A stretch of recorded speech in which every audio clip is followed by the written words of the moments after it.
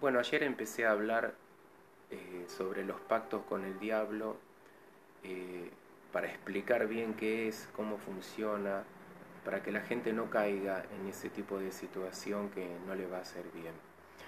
Ayer expliqué que la persona tiene que haber caído en la desesperación y en la falta de gracia en la vida para que eso eh, la lleve a tomar este tipo de decisiones de pactar.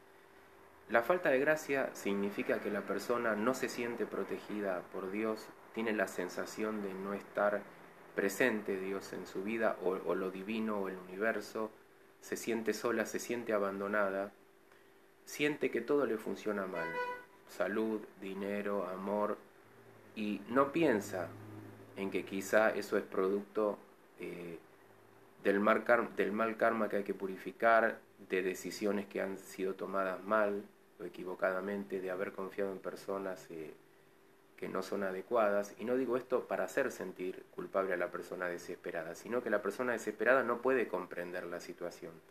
Simplemente busca una salida desesperada y tiene una interpretación desesperada, una, una visión eh, poco profunda de las cosas. Simplemente quiere salir como sea sin importarle las consecuencias.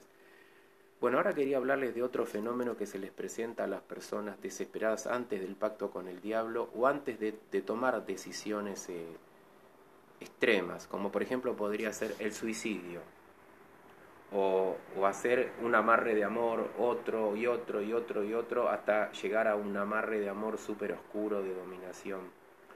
Se presenta un ángel en la vida de la persona, en la vida de todos ustedes antes de algo así. Pero un ángel qué es? Puede ser un ser de luz, puede ser una voz en la mente, puede ser algo.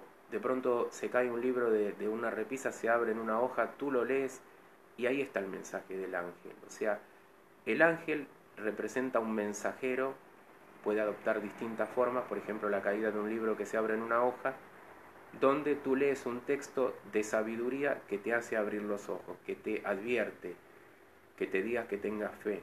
O sea, el ángel trata de eh, ayudarte a tener fe, a no caer, a que veas las cosas de una manera más profunda.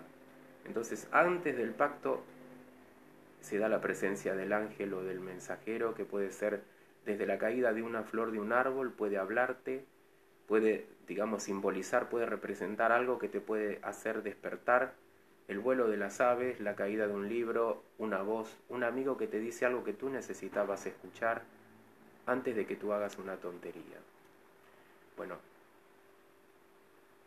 sigo en otro video para ir de a poquito hablando de esto.